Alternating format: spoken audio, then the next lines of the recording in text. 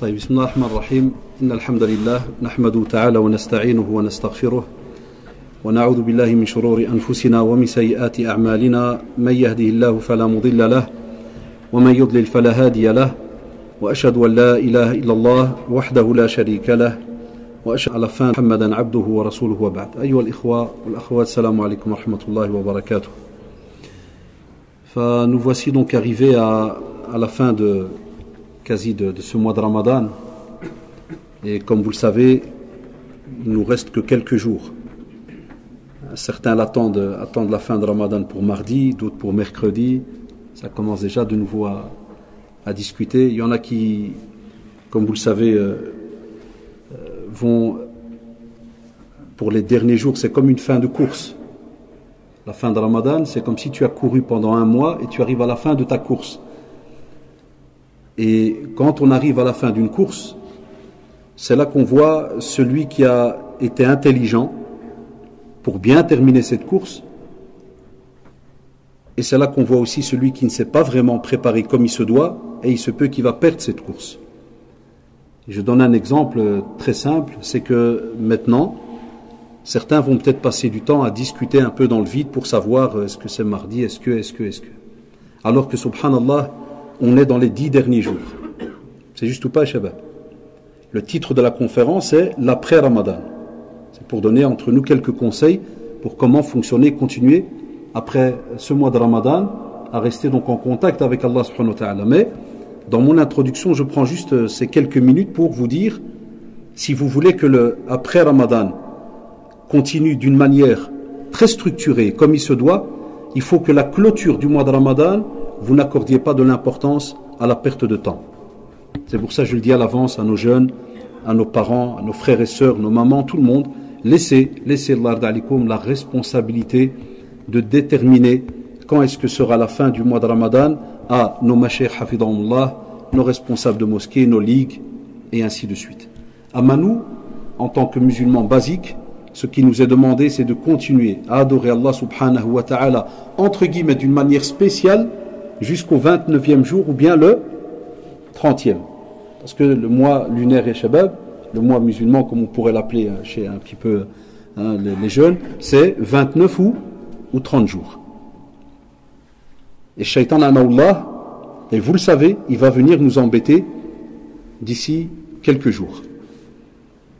Et nous faire passer des heures et des heures de discussion dans le vide. Il va même peut-être nous pousser à haïr des fois nos, nos ou, ou, nos professeurs ou, ou de, des comités, on va dire, de fatawa et ainsi de suite. On va perdre même une certaine éthique. Hein, on va même se retrouver à ne pas respecter certaines formes de comportement qui nous sont donc euh, demandées. Non, non, c'est bon, Inch'Allah, un peu de sport, ça, ça fait du bien. Donc, certains, ils vont, ils vont perdre cette éthique hein, que, qui leur a été enseignée durant ce mois de Ramadan, car vous le savez très bien que une des éthiques les plus importantes durant ce mois de Ramadan, c'est ce qui sort de notre bouche. Et c'est pour ça que le prophète sallallahu alayhi wa sallam nous a justement donné cette recommandation, cette même, c'est une obligation, pour que si on veut que ce mois de Ramadan soit une réussite, que l'on fasse attention, qu'est-ce qui va sortir de notre bouche? Eh bien, pensez à ce que je vous dis maintenant. Vous allez penser peut-être à moi dans quelques jours, spécialement vers le lundi soir, par exemple déjà. Hein, on va commencer, entre guillemets, à parler par rapport aux différents avis que l'on va entendre. Là, un musulman, Allah, qui se respecte, c'est quelqu'un qui fait attention à cette bouche. Et si vous voulez vivre heureux toute votre vie, et si vous voulez, subhanallah, que votre cœur reste apaisé, et que vous soyez donc des personnes sereines, comme on va en parler juste après, s'il vous plaît, laissez, et à Shabab, spécialement les jeunes, apprenez à laisser la responsabilité d'un sujet bien précis à ceux qui ont pris cette responsabilité. C'est ce qui est beau dans notre religion. Wallahi. C'est qu'on a différents degrés de personnes autour de nous et chacun a un degré bien défini. Ceux qui apprennent, ils ont leur degré auprès d'Allah subhanahu wa ta'ala. Ceux qui sont basiques, qui n'ont pas encore euh, l'occasion d'apprendre, ils ont leur degré aussi auprès d'Allah subhanahu wa ta'ala. Mais entre ces deux groupes, la responsabilité est différente. Et puis on a nos mashaïr, nos prédicateurs et autres, mais moi je vis spécialement le mashaïr parce qu'un prédicateur n'est pas nécessairement un da'iya, n'est pas nécessairement un cheikh. Donc on a aussi nos mashayikh, par exemple, ici en Belgique. Hafidahumullah jami'an. Eh bien, eux, jazahumullah, ils ont pris une responsabilité immense sur leur dos. Qu'Allah les protège. Et ils l'ont pas pris pour s'amuser avec cela, comme le pensent des fois, ça peut arriver certaines personnes. Là, quand ils prennent l'occasion de parler, de donner une fatwa, c'est parce que, hafidahumullah, ils ont pris cette responsabilité dans un pays où il n'y a pas beaucoup de mashayikh. Fallah si jamais ils prennent une décision, sachez que ce sont vos savants. Et si on est musulman comme il se doit, nos savants, on les respecte. Nos savants, on les respecte. Et on ne lâche pas notre langue sur eux. Car leur viande, elle est, entre guillemets, comme vous le savez, les mesmoum, elle est empoisonnée. C'est des réalités. Mais ça demande une certaine éthique. Ça demande une certaine éducation. Ce n'est pas donné à tout le monde de retenir sa bouche. C'est très difficile. Et pourquoi est-ce que j'insiste sur ce point-là? Parce que vous avez remarqué que dans la communauté, et je vous donne une simple question très très mais très rapide, la nuit du 27, est-ce qu'il y avait de la place dans la mosquée ici? Dites-moi. C'était plein ou pas? Blindé. Blindé. Ah, et même les termes, ils ont leur importance. Qui a dit blindé? Blindé ou pas? Blindé, ça veut dire que tartaq, c'est jusqu'au où? C'était où? Jusqu'au fond, jusqu'en peut-être même, même les couloirs et tout. C'est juste? Parce qu'on attend Laylatul Qadr. Et on espère gagner donc les bénéfices de cette nuit. Khayrun min al-fishar, mille mois d'adoration. On parle depuis de 80 années. Ça, ça donne un total de plus de 80 ans quasi. Mais le prophète sallallahu alayhi wa sallam n'a-t-il pas dit qu'on la cherche et on essaye de la voir durant les jours impairs? C'est juste? Premier petit problème qui se passe et qui ne va pas nous aider à préparer l'après-Ramadan, c'est que certaines personnes ont attendu à l'heure jusqu'au 27. Mais ils ont oublié qu'on a encore un jour impair le 29. On avait aussi le 23. Où était-il? On avait aussi le 21. Impair ou pas Où était-il? Et c'est pour cela que Allah quand Ramadan va, nous quitter, parce que ça, va être, douloureux pour certains d'entre nous, Wallahi. Ceux qui ont vécu ce mois comme l'a demandé le prophète c'est cette première catégorie. Parce qu'on va voir deux catégories. Il y a cette première catégorie c'est ceux qui ont jeûné. Vous vous rappelez quand on s'est vu la toute première fois? Ça passe vite hein? Ça passe vite ou pas les on s'est vu combien de fois durant ce mois de Ramadan? Trois fois. Un mois est presque passé. Et tous les prédicateurs que vous avez rencontrés la première semaine de Ramadan, ils vous ont tous parlé de Man Ramadan imanan wa Vous vous rappelez ce hadith? Et man qama ramadan imanan celui qui a jeûné avec foi et en comptant sur la récompense et celui qui a passé justement ces nuits de ramadan dans l'adoration en aussi que ce soit la prière qiyam layl dans le dhikr la prière lecture du Coran et ainsi de suite qu'est-ce qu'ils ont comme bénéfice? Allah subhanahu wa ta'ala pardonne leurs péchés antérieurs ils ont passé un mois. Un mois où ils ont goûté. Qu'est-ce que la prière? Mais ils ont goûté pas n'importe quelle prière, et Shabab. Ils ont goûté Al-Qiyam. Ce qu'on appelle Qiyam al-Layl. Ça, c'est ce groupe de gagnants qui ont investi toute leur soirée dans le Qiyam. Parce que le Qiyam, Shabab, ne pensez pas que le Qiyam s'arrête avec Ramadan. Abadan. Qiyam al-Layl, tu peux le faire toute ta vie. C'est juste ou pas? Tu peux le faire toute ta vie, tous les jours. Fais le qiyam. Qiyam layl, il te rapporte la sérénité. Alaj, parce que tu es face à Allah subhanahu wa ta'ala. Qiyam layl t'apprend la concentration. Beaucoup de jeunes nous demandent comment se concentrer dans la prière, comment se concentrer dans nos actes d'adoration. Al-qiyam, ya shabab. Parce que qiyam layl, il n'est pas donné à n'importe qui. Wallahi, qiyam layl, ce n'est pas donné à n'importe qui comme ibadah. Parce que c'est un moment où normalement beaucoup dorment. Beaucoup sont peut-être affalés devant la télévision. Beaucoup passent leur temps dans le vide, ou les jeux, ou ceci ou cela. Et toi, subhanallah, ce n'est pas obligatoire pour toi de le faire. C'est ça qui est beau. Al-Qiyam n'est pas obligatoire. Et voilà pourquoi on voit que tu es vraiment un gagnant. Parce que quand c'est pas obligatoire, et même comme ça, toi tu te lèves, c'est que tu es un bon. C'est Shabab. Tu veux savoir si vraiment tu es de ceux, Inch'Allah, et on l'espère, et on, voit, on va voir après quelques détails, qui ont gagné ce mois de Ramadan, c'est si après le mois de Ramadan, Al-Qiyam, tu continues à le faire. Tu fais un petit programme. Tu te lèves pour prier la prière de Fajr, 3h30. Lève-toi à 3h. Et vous allez voir. À partir de la semaine prochaine, le mot Al-Qiyam, on va lui dire au revoir comme on dit au revoir à Ramadan. Et c'est pour ça que je vous ai dit que c'est très douloureux de quitter le mois de Ramadan. Spécialement pour ce premier groupe-là. Parce qu'ils ont goûté à la sérénité pendant plus d'une heure de Tarawih, rien qu'en général une heure. Une heure, et tu entends la parole d'Allah subhanahu wa ta'ala. Deuxième bénéfice, le cœur est touché. Vous savez, dans le rappel, que ce soit le Coran, l'invocation, l'évocation d'Allah, Allah subhanahu wa ta'ala dit Ala bidikrillahi tatma'innu al-qulub. Il y a une certitude de nouveau. C'est-à-dire, Wallah, et quoi qu'il arrive, ton cœur, il s'apaise. Tu écoutes la parole d'Allah subhanahu wa ta'ala, il y a dedans un rappel. Il y a une guidance, il y a une hidayah, il y a un shifa. C'est aussi une guérison. Le Coran, subhanallah, recèle des trésors qu'on ne peut pas imaginer. Troisièmement, quand tu es dans le qiyam, tu ressens l'amour d'Allah subhanahu wa ta'ala. Pourquoi? Parce que, ya shabab, vous savez que l'endroit le plus proche dans la prière d'Allah subhanahu wa ta'ala, c'est le sujoud, la prosternation. Alors quand tu fais tout simplement, on va dire par exemple, tu fais ta prière obligatoire de 4 rak'at, tu pars. Imagine quand tu rajoutes le qiyam, 2, 4, 6, 8 par exemple, 8 rak'at. Si c'est le soir, tu termines, comme vous le savez, c'est le soir, termine par un witr, une rak'a impair. Combien de connexions avec Allah subhanahu wa ta'ala tu as Et pendant combien de temps aussi, point suivant, c'est un apaisement général du corps. Parce que quand le cœur, et ça le prophète l'a dit dans la tradition authentique, quand le corps qui contient cette modra, c'est un genre de caillou, c'est une matière, c'est un membre incroyable. S'il est bon, le reste du corps est bon. S'il est mauvais, le reste du corps est, est mauvais. C'est quoi? Al-qalb, le cœur. Et le mois de Ramadan nous a, subhanallah, appris à purifier ce cœur. Parce qu'on a été obligé pendant ce mois de Ramadan d'éviter tout ce qui pourrait entacher et salir ce cœur.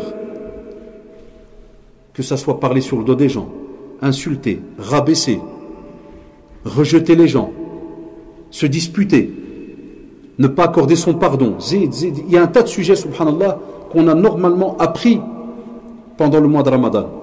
Donc il donne un apaisement. Ce mois, Wallah, il donne un apaisement. Et la prière encore plus. Cinquième point, la prière, elle t'apprend à connaître Allah subhanahu wa ta'ala. Al-qiyam, ya shabab. Il t'apprend à connaître encore plus Allah subhanahu wa ta'ala.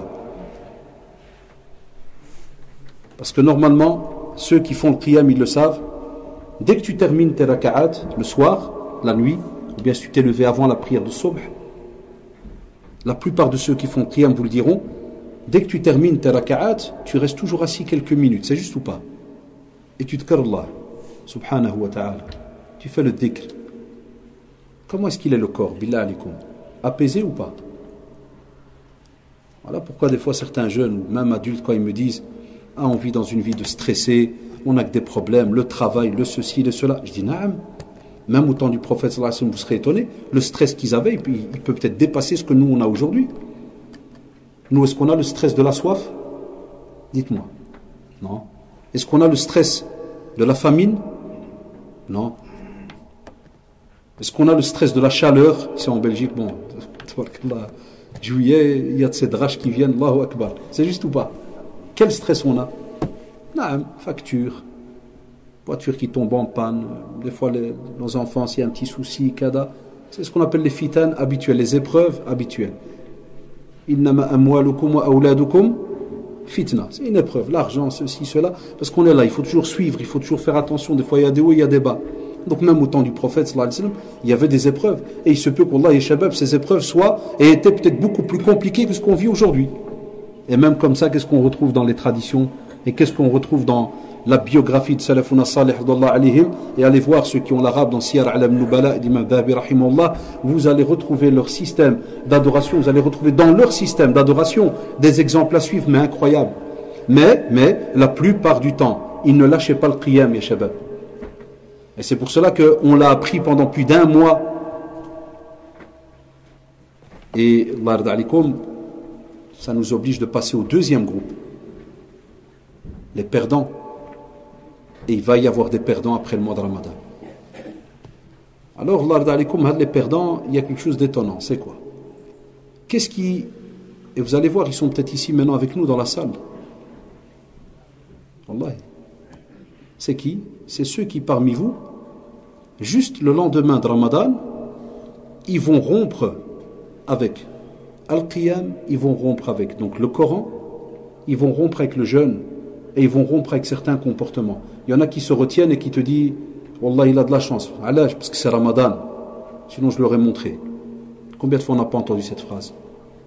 Ça sous-entend quoi? Que s'il n'y a pas Ramadan, on se lâche ou pas? On se lâche, pour certains. Le Coran, il y en a qui l'ont entendu pendant un mois.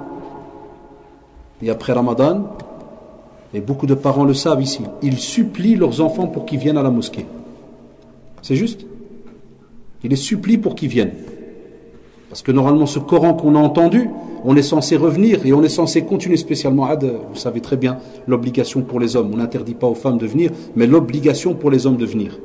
La femme, on ne la met pas, alhamdoulilah, en danger, à la faire venir là, nuit à des minuit ou autre pour une prière, alhamdoulilah, mais si elle vient avec son mari et que la mosquée, alhamdoulilah, est ouverte, c'est un bien, il n'y a pas de souci. Mais on sait que dans la sunna, sa meilleure prière, alhamdoulilah, c'est chez elle, mais comme vous le savez très bien, il n'y a pas cette interdiction.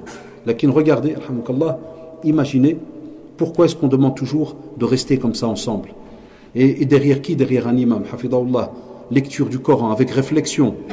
C'est tout un travail, Shabab. C'est tout un travail eh bien il y en a qui vont quitter, entre guillemets, la prière. Où ça? Où ça, Shabab? Dans la mosquée. Le meilleur endroit qu'il y a sur terre. Le meilleur endroit sur terre, c'est Baytullah, la mosquée on va quitter la mosquée. Hatta nos et Cheikh il est là, il pourra vous le dire. En général, juste euh, quand il y a khutbat l'Aïd, souvent, c'est que l'image, qui est il est stupide. Allah yiskum bekhir. C'est l'Aïd, yak. Mais n'oubliez pas, n'oubliez pas qu'il y a le Dhuhr, qu'il y a l'Asar, qu'il y a le Maghrib, qu'il y a l'Acha. Amma le jour de l'Aïd, les mosquées quasi sont vidées. Quand on doit aller voir la famille, il n'y a, pas, y a pas de prière. Bien dans le quartier où tu vas, il n'y a pas de mosquée, il n'y a rien. Le lendemain de l'Aïd, catastrophique. Parce que le premier jour, on va dire, voilà, c'est normal, c'est le jour de l'Aïd, les, les plans sont faits, tout le monde sort. Deux jours, trois jours, quatre jours après, les mosquées reviennent à leur système habituel, comment est-ce qu'ils étaient avant Ramadan? Pendant Ramadan, tu vas dans une mosquée, après la prière de l'Asr, il y a beaucoup de gens ou pas? Pendant Ramadan. Tu vois le taux al-Maghreb, là c'est catastrophique parce qu'il y a le harira et au moins il faut rompre le jeûne mais à la maison, alors qu'on sait que tu peux venir ici à la mosquée avec deux trois dates en poche, c'est juste ou pas et tu rompes, kada, à ton aise, les mosquées laissent toujours plusieurs minutes, et tu avales bien, puis Allahu Akbar, c'est juste. Et puis le taux il augmente, prière de l'Isha, alash tarawih. Et puis il rediminue, quand Le Fajr. هذا Ramadan, on m'a laissé tomber après Ramadan. Les mosquées vont commencer à se plaindre. Où sont les musallin où sont ce qu'on appelle euh, euh, Ramadaniyoun, les spécialistes du Ramadan, les ramadanistes. Hein, il y a des, musulmans de saison. Il y a, on a des musulmans spéciaux Ramadan. Et on va même, Inch'Allah, on va leur dire, on ne fait pas les questions, les frères, ils n'ont dit pas de remarques, rien. Là, c'est en français pour les jeunes. Il y a les imams qui font en arabe, Je suis désolé, chaque fois on me fait la blague, mais je parais des fois méchant, loin de là mais on me demande tout un sujet, de préparer un sujet spécialement pour les jeunes, parce qu'on a des imams qui parlent arabe. Mais personne ne vient chez eux. Vous n'avez pas d'imam ici à Farsienne Il n'y a aucun dars? Il n'y a rien du tout? Non, dites-moi. C'est juste ou pas?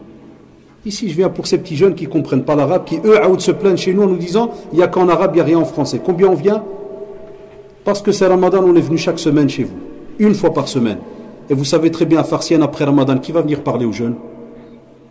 Dites-moi, combien vous avez de conférences par mois en français ici aux jeunes, toute l'année? Ou par semaine? Vous en avez chaque semaine une en français? C'est une bah, qui parle aux jeunes? Voilà pourquoi on se coupe en quatre pour venir vous parler. On essaie alors de regrouper. On a une heure. Wallahi, on a une heure, une heure quart maximum. Et moi, je ne sais pas le faire. Allah en est témoin, je l'ai dit même dernièrement, je ne sais plus où, dans une mosquée. Je ne sais pas passer deux phrases en français, deux phrases en... Deux phrases. Il y, en a qui savent le faire. Wallah, je ne sais pas le faire. Soit je fais qu'en arabe, soit je fais qu'en français. mais je me suis spécialisé avec les jeunes depuis 26 ans. Je fais qu'en français avec les jeunes. Je ne sais pas me couper en 20. Et ce que je dis moi maintenant pour les jeunes, Wallah, nos imams, ils le font après dans les doros en arabe. C'est la vérité. Voilà pourquoi on se sacrifie un peu pour nos jeunes. Donc je disais, faites, faites votre possible par rapport à la prière à la mosquée. Vous ne pouvez pas partager, vous ne pouvez pas vous dire que pendant Ramadan, on voit plein de jeunes ici, qu'on va plus jamais revoir après Ramadan, et vous le savez très bien. Ça, c'est la première question qui se pose. Si on pouvait rester maintenant une heure à parler que de cela, pourquoi vous n'allez pas revenir après Ramadan? Qui peut me répondre parmi les jeunes? Qui déjà parmi les jeunes qui sont ici vont oser lever la main et dire Wallah, c'est vrai. Après Ramadan, je ne suis pas un spécialiste de la mosquée. J'habite Farsienne, mais je ne viens pas. Nos imams, les responsables connaissent quasi presque par cœur les, ce qu'on appelle rouad al-masajid, les habitués de la mosquée. C'est juste ou pas, Shabab Donc ils savent qui vient, qui vient pas. Mais où sont-ils? Alors est-ce qu'on a jeûné alors à ce moment-là? Pourquoi on dit le mois des perdants? Est-ce qu'on a jeûné à ce moment-là avec sincérité? Parce que si tu as jeûné avec sincérité, le Seigneur de Ramadan est le Seigneur de toute l'année. Vous avez entendu cette phrase, Yaka Shabab? Le Seigneur de Ramadan c'est-à-dire celui qui a rendu Ramadan obligatoire, il est celui qui a rendu la prière obligatoire toute l'année. C'est le même, subhanahu wa ta'ala, Wallahi, c'est le même. Alors comment se fait-il que tu aimes Allah et tu viens dans sa demeure pendant Ramadan, mais après Ramadan tu le quittes? Et tu ne viens plus rencontrer Allah subhanahu wa ta'ala Billah alikum les jeunes. C'est une question importante, Wallahi. Alors, est le travail de nos parents aussi? Des fois, des parents, ils viennent prier. Ils n'amènent pas leurs enfants. Ils ont des fois une excuse très drôle, très bizarre. Tu te dis, ah, je leur ai dit de venir, ils ne veulent pas. Qui a le pouvoir à la maison? Je sais que cette phrase, elle peut choquer certains. Mais ici, je suis en train de parler avec des musulmans.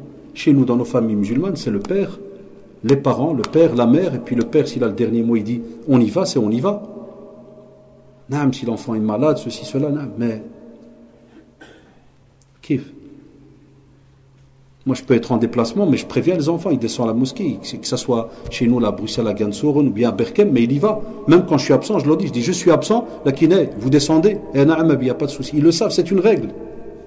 Si jamais ils y vont pas, c'est vraiment, il y a une excuse, mais vraiment, on va dire, et encore. Wallah, et encore, on a, on a peur auprès d'Allah subhanahu wa ta'ala que cette excuse n'est pas valable.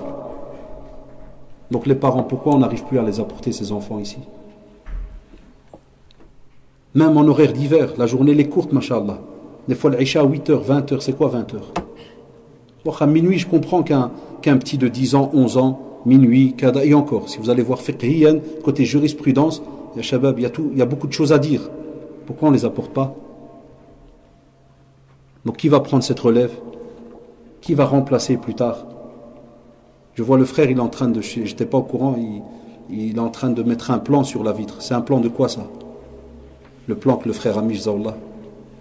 le plan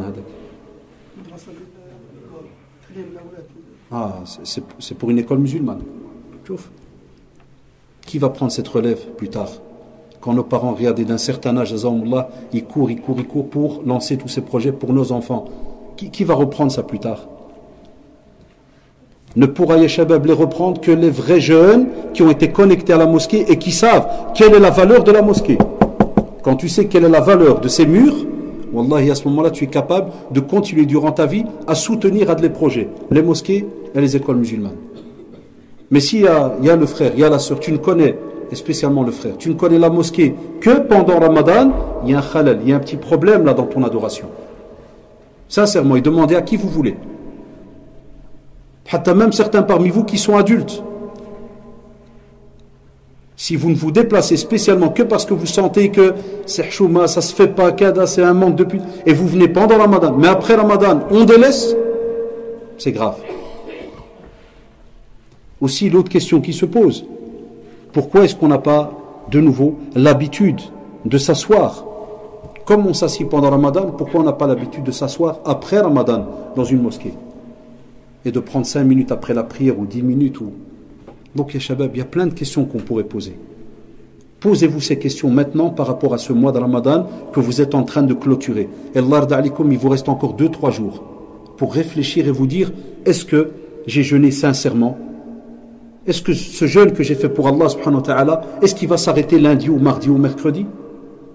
Est-ce qu'il va s'arrêter? Ou bien au contraire? Donc ce jeûne et ces nuits qu'on a passées à prier, est-ce qu'au contraire ils m'ont ouvert le cœur pour aller encore plus loin après le mois de Ramadan? Est-ce que c'est le cas? Voilà les questions qu'on doit se poser et qu'on doit aussi poser à nos enfants. Ce soir, tout à l'heure, vous rentrez à la maison, ceux qui ont laissé leurs enfants à la maison. Ne soyez pas gênés. Vous devez leur, leur expliquer cela pour laisser une responsabilité sur leur dos. Même si vous avez des enfants mariés, les jeunes qui sont ici, vos grands frères, vos grandes sœurs, vos amis dans les quartiers, vous devez leur dire Qu'as-tu gagné de ce mois de Ramadan? Ou certains salafuna salih il te dit qu'on voit les bénéfices de Ramadan après Ramadan. Et on va le voir juste après. Vous avez compris la phrase? On voit les bénéfices de Ramadan et les fruits de Ramadan après Ramadan. Mais le problème, vous allez voir, on va lâcher chez certains. Et on va peut-être lâcher beaucoup. Alors est-ce qu'on peut être égaux dans le bénéfice auprès d'Allah subhanahu wa ta'ala? Là. Ça, certains des fois nous posent la question en disant euh, est-ce qu'Allah il m'aime bien? C'est des questions qui viennent habituellement. Les frères, c'est leur droit, ils ont raison de ne pas faire de questions-réponses aujourd'hui. Euh, je suis toujours, je suis souvent pas du même avis, mais entre guillemets, parce que ça, nos jeunes ont besoin de, petits rappels sur certains petits sujets qui les touchent. Parce que c'est pas des à ce qu'on fait là, ça c'est les grands qui le font. Mais c'est des rappels. Mais sinon, dans ces rappels-là, combien de fois on leur dit pas qu'est-ce qui régit ta vie? Quelle importance tu donnes à ta vie? Comment tu gères? Parce que tu ne peux pas être au même niveau que quelqu'un qui a jeûné comme il se doit et qui après Ramadan continue dans ses activités religieuses. Et tu ne peux pas leur me poser la question après à la fin de la conférence, comment savoir si Allah y m'aime? Elle revient très souvent cette question. Comment savoir si Allah a accepté mes œuvres? Elle revient très souvent. Est-ce que je suis un hypocrite? Combien de fois vous n'avez pas entendu cette question? On a toutes les réponses, Et ça ne veut pas dire que si un imam vient ou un c'est quelqu'un qui voit dans le futur. Là, abadan, on a des textes. On a un comportement prophétique qui nous a montré comment les activités continuent après le mois de Ramadan. Donc tu as déjà des réponses. Allah si après le mois de Ramadan, tu sens que tu commences à lâcher, sache alors que tu as déjà une réponse. Si tu veux savoir si tu es de ceux qu'Allah aime, si tu veux savoir si tu as été quelqu'un de sincère, Ou bien tu es venu tous les soirs, pourquoi? Chacun a une réponse parmi vous. Alors qu'il nous a été ordonné. Point. Ça s'arrête là. Tu voues un culte sincère à Allah subhanahu wa ta'ala, eh bien, il y a shabab, les jeunes, que ça soit pendant Ramadan ou bien après Ramadan. Et c'est pour cela, Allah dans un hadith rapporté par Muslim, les compagnons d'Allah alayhim, lorsqu'ils parlaient de la famille du prophète sallallahu alayhi wa sallam, ils disaient que le prophète avait l'habitude de perpétuer tout ce qui était des bonnes actions. Il les répétait. Ça veut dire chaque fois qu'il faisait une action, il la répétait. C'est-à-dire qu'il ne faisait pas une chose une fois et puis après c'est fini. Il va aider et puis après c'est fini. Là, il y a une répétition. Ou la répétition c'est très très important parce que dans un autre hadith, authentique, on vous dit que le prophète sallallahu dit que parmi les œuvres, les actions qui sont les plus aimées auprès d'Allah subhanahu wa ta'ala, ce sont les actions les plus durables, peu importe leur quantité. Les plus durables. C'est le. Ça veut dire que tu fais une action, fais-la toute ta vie, Allah Même si c'est minime. On va voir après quelques exemples. Même si c'est minime. Mais ne va pas, ne va pas Allah donner maintenant pendant un mois le tu donnes de la force, tu cours, tu viens, kada, et puis juste dans ta tête, ah parce que c'est Ramadan mon frère. est-ce qu'il y a un texte qui dit qu'après Ramadan il n'y a plus d'ibada? Il n'y a plus de rapprochement vis-à-vis d'Allah subhanahu wa ta'ala? Nos enfants doivent le comprendre, les jeunes vous devez le comprendre, ou sinon vous allez perdre votre religion au fur et à mesure. Votre religiosité aussi, vous allez la perdre au fur et à mesure. Vous allez fondre. Il ne restera que ce qu'on appelle koshor, que les petites épluchures. À la fin, on gardera, et encore vous l'avez remarqué aujourd'hui, pendant l'année, chez beaucoup, beaucoup d'entre nous, il y a la prière, de force. Et on doit se battre avec des jeunes pour qu'ils prient. Chaque année, je termine l'année. Maintenant, j'ai quitté l'enseignement depuis le mois d'avril, mais fin avril à Fouane. Mais chaque année, je termine l'année. J'ai 100, je vous l'avais dit, 140 élèves. Chaque année, je gagne maximum une trentaine qui prient. Amma, plus de 100 élèves ne prient pas. Religion islamique. Hein. Et je ne peux pas les obliger. C'est leur vie privée. Je peux juste leur faire des rappels, parce que c'est dans notre cours. Mais je peux ni les juger, ni les obliger, ni rien. C'est interdit. Même dans la loi, comme on dit, parce que vous êtes prof, vous ne pouvez pas aller plus loin dans leur vie privée. Mais religieusement, oui, tu peux faire des rappels. Mais ça fait mal au cœur. Ça fait mal au cœur d'avoir 140 et sur les 140, il y en a peut-être 30 qui vont prier à la fin de l'année. Mais Wallah, ils l'avouent eux-mêmes, la centaine, tu dis, monsieur, on prie pas. C'est tout des grands, hein. prie pas, monsieur. Mais tu les retrouves Ramadan à la mosquée, je les croise. À la mosquée Al-Khalil, Al-Merkez, Kada. Tu les croises et tu lui dis agis. En classe, tu m'as dit tu pries pas.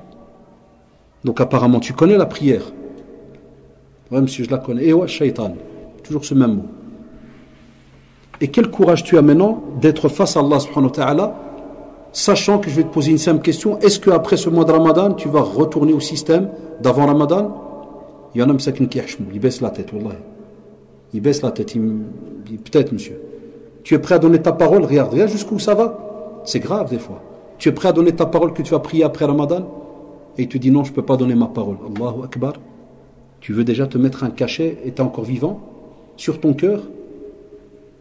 Donc, comme lorsqu'on parle d'action prolongée, peu importe la quantité, c'est-à-dire de préférence, comme disent nos savants, il vaut mieux que ça soit peu. Il vaut mieux que ça soit peu, Ça sous-entend, il y a les jeunes. Vous avez maintenant goûté aux prières, vous avez vu combien vous êtes capable de faire de qiyam. Par exemple, si on arrive à, à 11 raka'a, vous avez remarqué que des fois après 4, 6, vous sentez que vous n'êtes pas bien, vous déconnectez. Eh bien, je te dirais, Allah continue après Ramadan à faire ne fût que 6 raka'a de qiyam. C'est juste ou pas? Fais que 6. Wallahi Allahumma 6. Et tu es conscient, tu te rappelles et tu les ressens que tu me dis non, il n'y a plus rien. Tu as été habitué à écouter le Coran pendant 30 jours après Ramadan Quand tu viens écouter le Coran, vous savez très bien, Tarawih prenne une heure, comme on l'a dit tout à l'heure, tu as écouté du Coran pendant presque une heure. Après Ramadan, s'il te plaît, écoute le Coran même si c'est un quart d'heure par jour. Regarde, je ne t'ai pas demandé une heure. Avez remarqué comment on fait des liquidations Un quart d'heure par jour. Ya Shabab. On a des, GSM, ils sont remplis de. Allez voir ce qu'il y a dedans. Masaib. Ils sont remplis de tout et de rien mais un quart d'heure par jour. Ça, c'est la sunna du prophète.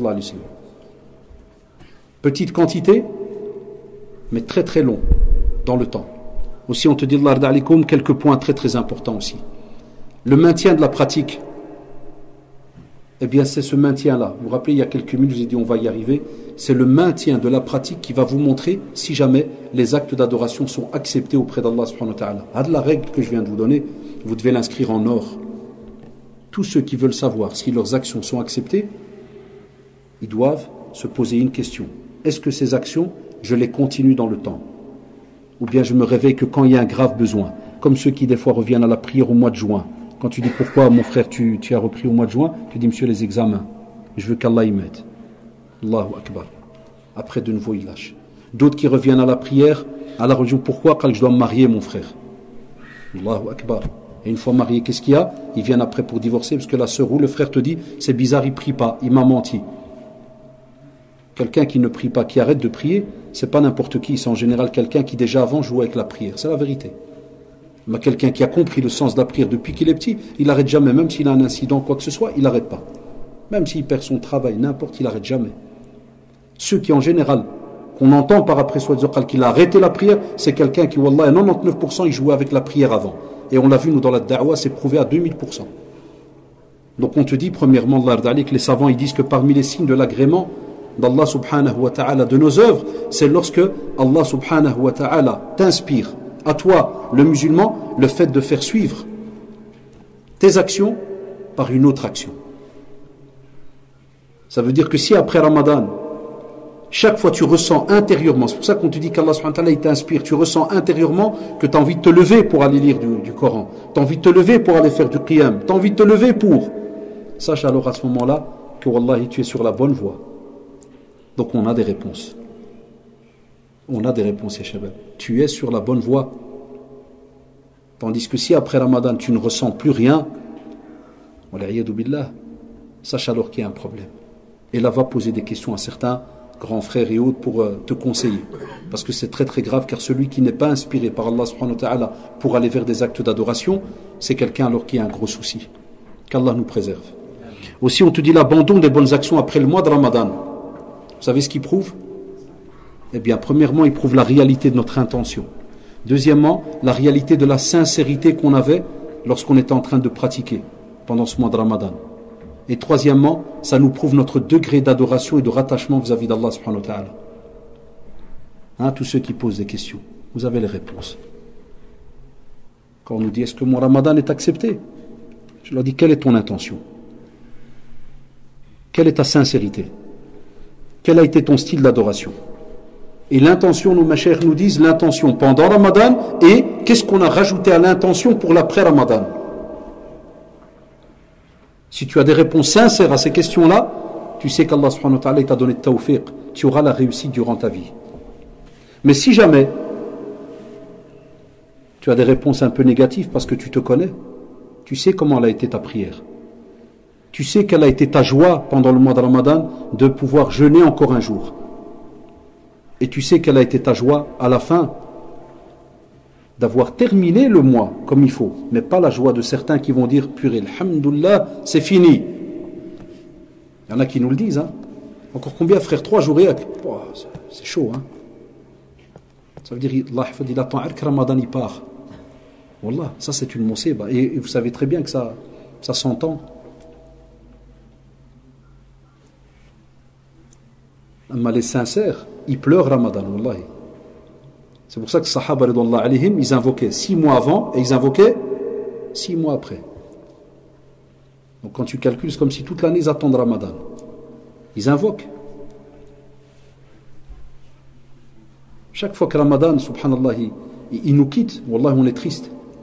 Parce que c'est une période d'adoration qui va peut-être plus se répéter. Spécialement le statut qu'a Ramadan en tant que pilier d'islam. On va voir après qu'on a encore des petites choses qu'on peut faire.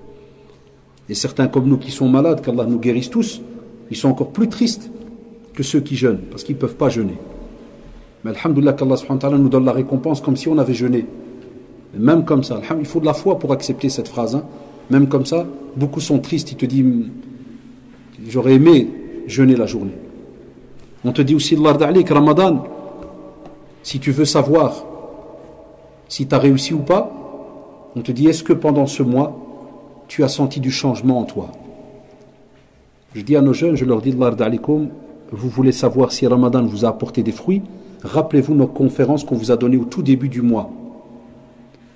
Et on vous a donné plusieurs comportements, essayez de mettre en pratique pendant Ramadan. Et qu'est-ce qu'on vous a dit? On vous donne rendez-vous à la fin de Ramadan. Un mois est passé. As-tu vu un changement dans ton comportement? Vis-à-vis d'Allah vis-à-vis de tes parents, ta famille, si tu es marié vis-à-vis de ton épouse, ton époux, tes enfants, regardez combien, au travail, dans ton comportement, ton honnêteté, est-ce que tu es quelqu'un qui est encore plus honnête qu'il l'était avant Ramadan, pendant Ramadan et après Dans le relationnel avec les autres. Beaucoup de questions, vous pouvez les noter, vous dire qu'est-ce qui a changé en moi pendant le mois de Ramadan. Deuxièmement, le mois de Ramadan, par rapport à cette question-là, c'est le mois du repentir. As-tu senti que tu t'es vraiment repenti durant ce mois de Ramadan? Ça sous-entend, est-ce que tu as délaissé vraiment certaines mauvaises habitudes que tu avais avant?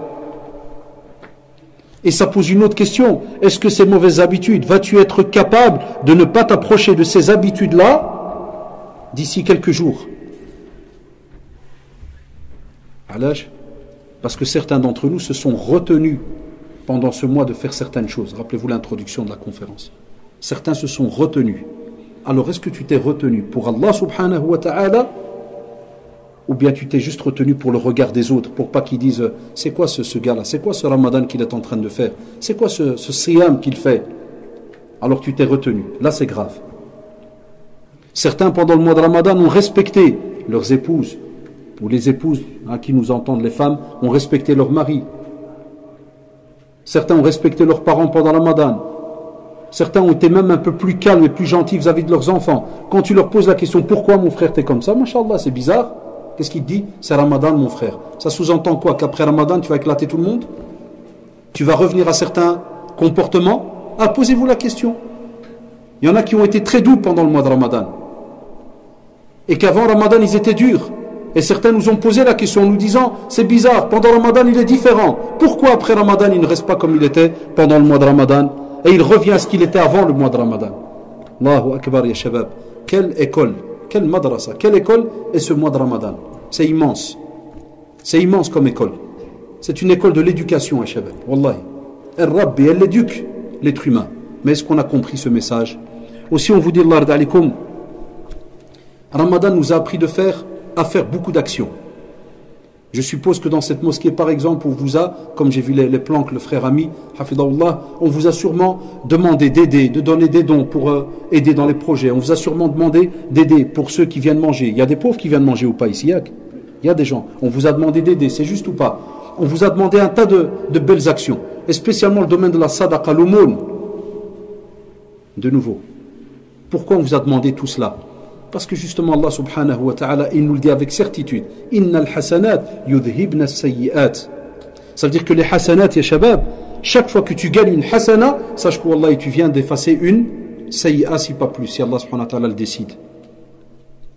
Alors, toutes ces bonnes actions qu'on t'a offertes pendant Ramadan, toutes ces opportunités,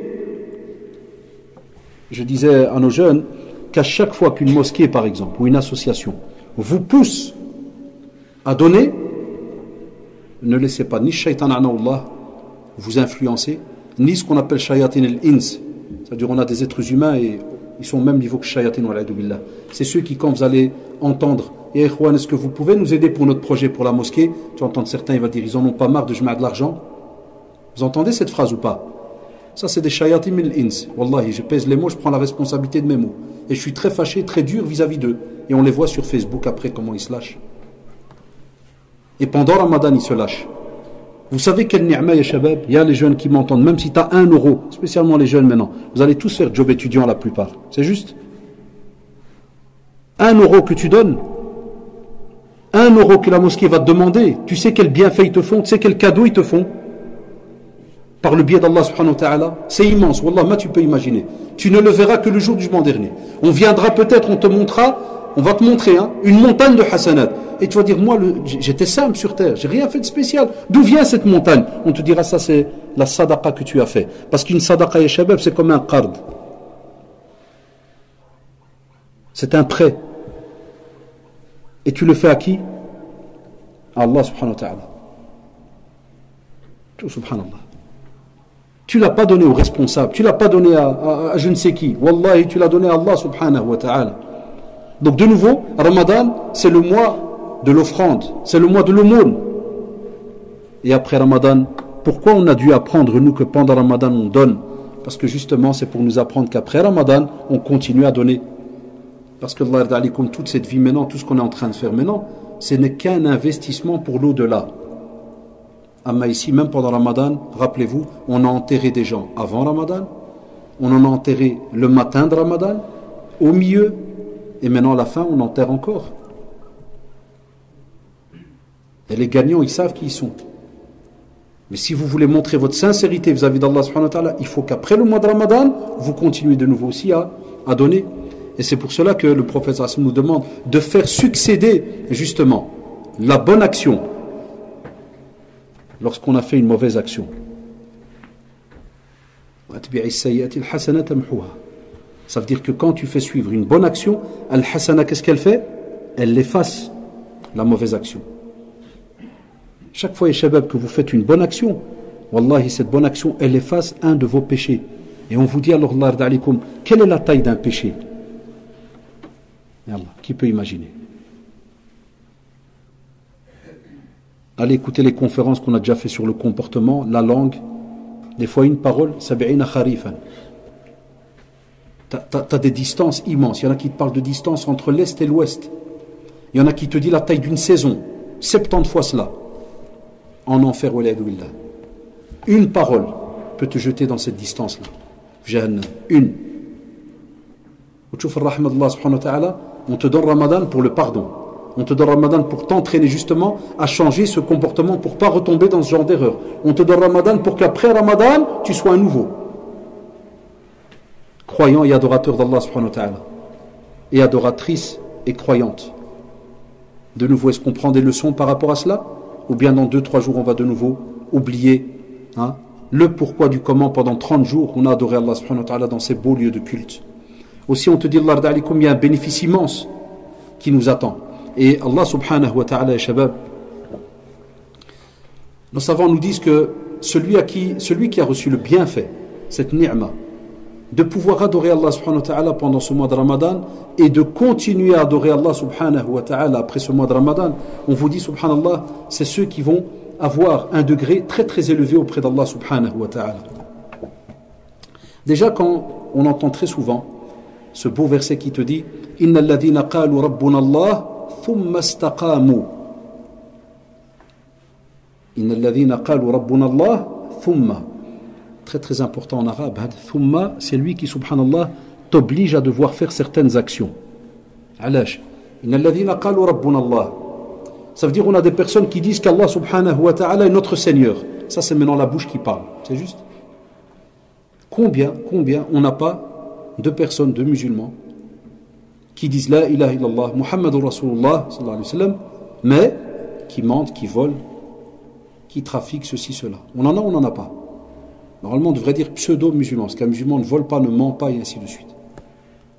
Donc on en a, ça arrive. L'être humain commet des erreurs, commet des fautes, on va dire. Ça sous-entend quoi? Ça sous-entend qu'ils ont l'iman, mais lorsqu'il faut passer aux actes, il y a un problème.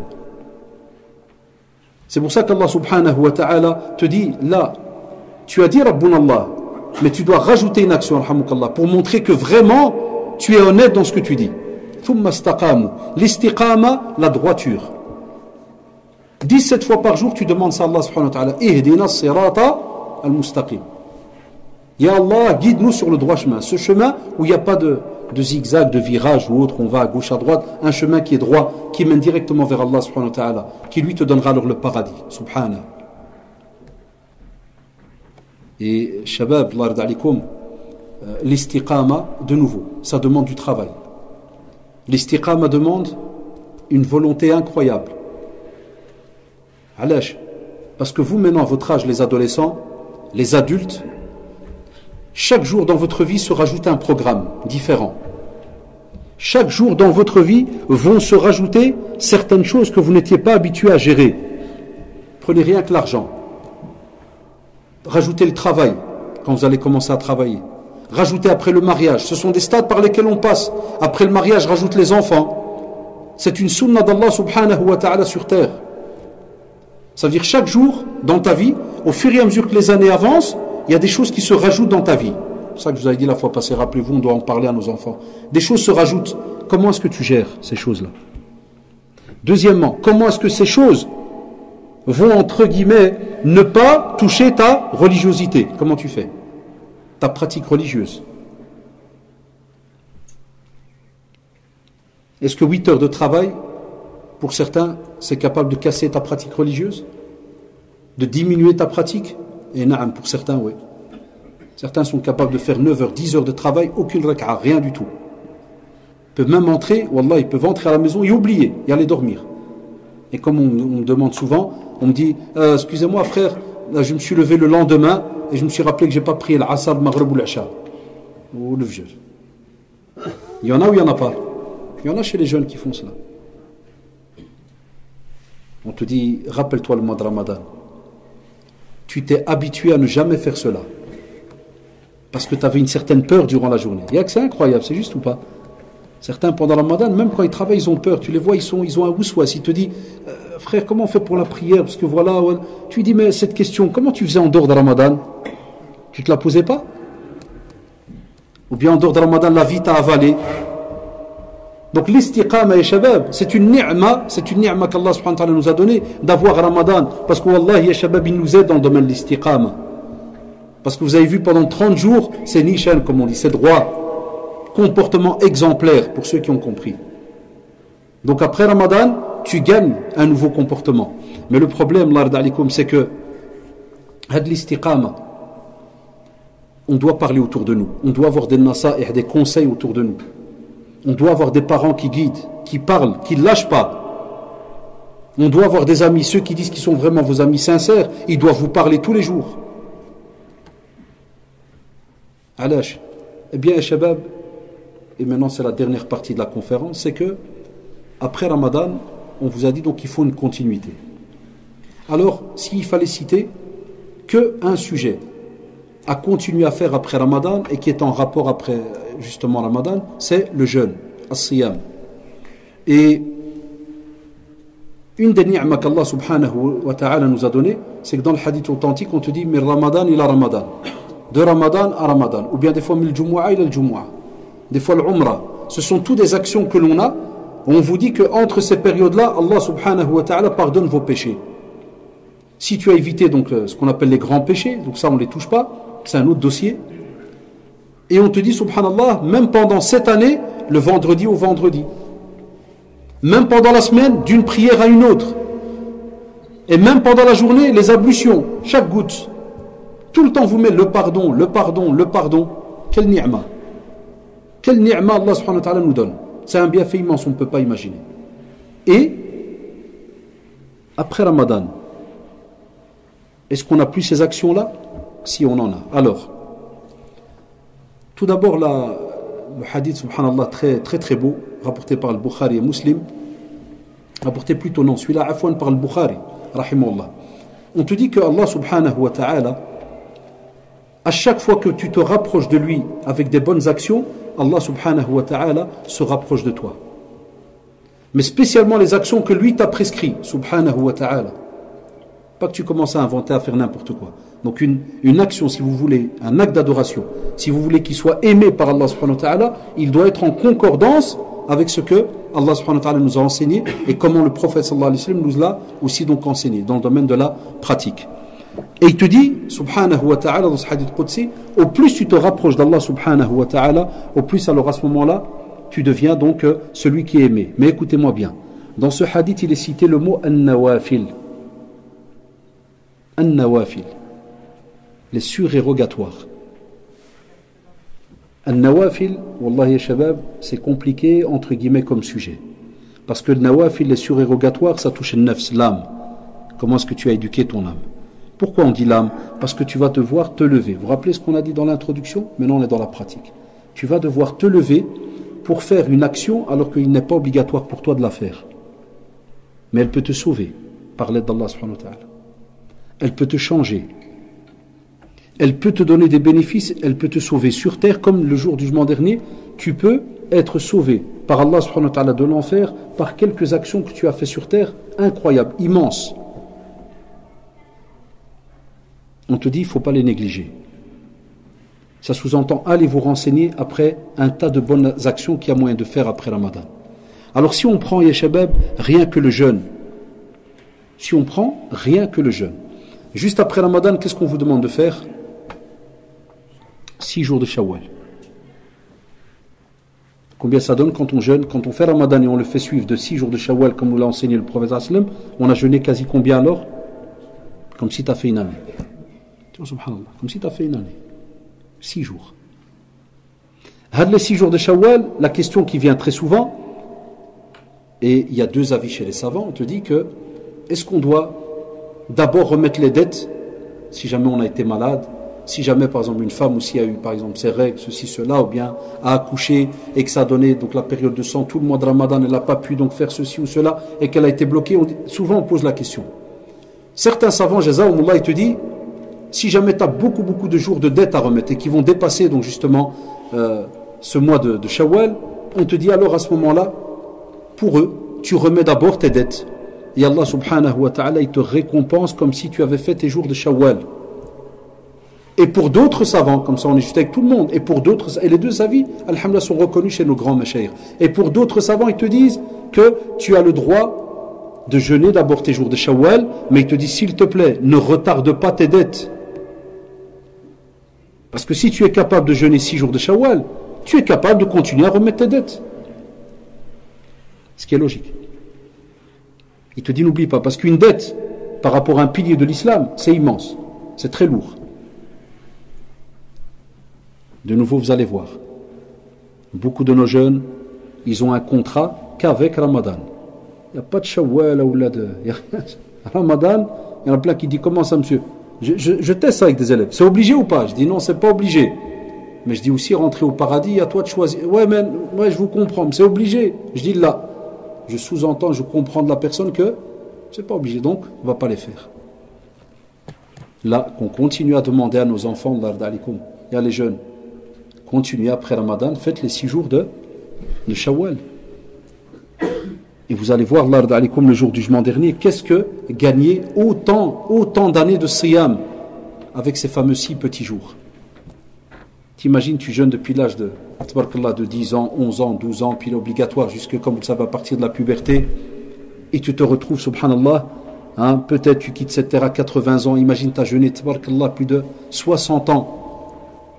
Et à chaque jour, avec les 6 jours de Shawwal, Allah subhanahu wa ta'ala t'a donné combien? Il t'a mis dans les archives un an de jeûne. Un an de jeûne. Allahu Akbar. Qui va nous donner tous ces hasanats-là? De nouveau, on va avoir des perdants et shabab. Rappelez-vous ce que je vous dis maintenant. Wallah, et de nouveau, on va avoir des jeunes qui ne vont pas jeûner, qui vont rester à côté de, de, ce bienfait immense. Euh, les jours de, de Shawwal, vous pouvez aussi les partager pendant le mois de Ramadan. Tu peux faire par exemple euh, un jour, un jour oui, un jour non. Donc il n'y a pas une obligation qui soit collée automatiquement à part chez certains littéralistes par rapport à, la phrase. Mais sinon, alhamdulillah, on peut les, les départager. Si jamais une certaine fatigue s'est installée ou maladie ou ceci, donc tu as tout le mois, mashallah, donc pour euh, euh, les faire. Aussi, on a un jeûne très très important. On a un jeûne très très important, c'est le jeûne du lundi et jeudi. Ah, compliqué ça. Lundi et jeudi pendant l'année avant de commencer à expliquer lundi et jeudi, quand on jeûne, on se base entre guillemets sur quel calendrier pour connaître nos mois? Dites-moi. Les jeunes, vous pouvez parler. Lequel? Quel calendrier nous on suit pour connaître nos mois? Comment il s'appelle? Allah les jeunes, pas les un peu plus jeunes. Je cherche les, les jeunes jeunes. Il y en a ici, il y en a plein devant moi. C'est quel calendrier? Comment il s'appelle? Rien. C'est quoi le premier mois, on l'appelle? Est-ce que tout le monde connaît tout le calendrier? Ou bien on connaît que le mois de, Ramadan? Et même ça, des fois, on arrive à arnaquer certains jeunes. Je leur dis, euh, au fait, c'est Ramadan. Euh, et dans le calendrier, euh, citez-moi les, mois, quel calendrier? Je dis, ben, on a deux calendriers, nous les musulmans. On a le calendrier grégorien avec lequel on fonctionne, euh, entre guillemets, dans le monde, hein, janvier, février, dans, spécialement dans les pays non musulmans, janvier, février, mars, et on a notre calendrier égérien. Euh, et de ce calendrier Shabab dépend le jeûne, de ce calendrier dépend le hajj, de ce calendrier dépend aussi ta zakat, vous savez que la zakat, on la sort pas d'après janvier, février, mars, avril, mais on la sort d'après Muharram, Safar, parce que sur un an, il y a un décalage entre les deux calendriers d'à peu près 11 jours. Et nos savants, le ulama il te dit, tu dois ne pas oublier les pauvres pendant ces 11 jours, sinon tu les retardes. Le prophète sallallahu alayhi wa sallam le calendrier gérien. Donc quand tu dois savoir si une année est passée par rapport à ton argent là que tu as mis à côté, ou ton or, ou ceci, ou cela, ou tes terres et ta marchandise, c'est d'après le calendrier, et j'ai rien. Ou sinon tu as retardé, tu as laissé attendre les pauvres pendant 11 jours. Allahu Akbar. C'est grave, Allah, tu ne peux pas les laisser attendre. ton argent, il, n'est plus à toi. Dès que tu es dans l'obligation de donner la zakat, il n'est plus à toi. Il appartient aux nécessiteux, ceux qui ont été cités dans leur catégorie, là, les huit. Donc, si on demande à nos, jeunes de jeûner certains jours bien spécifiques, comme vous allez le voir après, lundi et jeudi, on est encore à l'aise. Parce que pour savoir lundi et jeudi, on n'a pas de souci, il ne faut pas un calendrier égérien ou pas, c'est lundi et jeudi. Mais quand on va devoir jeûner, par exemple, le jour de Ashura, ou bien comme on va le voir Arafat et autres, on doit être au courant de le mois, est-ce qu'on est rentré dedans ou pas. Donc les parents doivent connaître ce mois, ils doivent le rappeler aux jeunes, les jeunes aussi doivent étudier ce mois d'année en année. Ils doivent se le rappeler. Ils doivent le rappeler à leurs amis. De dire attention, on est rentré dans tel mois. Il est aimé par le prophète sallallahu alayhi wa sallam. Il faisait, on va le voir maintenant avec quelques textes. Alors, pour ce qui est du lundi et jeudi. Dans une tradition rapportée par l'imam Nasai et authentifiée aussi par Shal Alban d'après Aisha anha, elle nous rappelle que le prophète sallallahu alayhi wa sallam, il ciblait, ça veut dire qu'il ne ratait pas, il faisait attention au lundi et jeudi pour les jeûner. Et on sait que le prophète est une qudwa pour nous, c'est un exemple à suivre. Mais il faisait son possible pour ne pas rater le lundi et jeudi.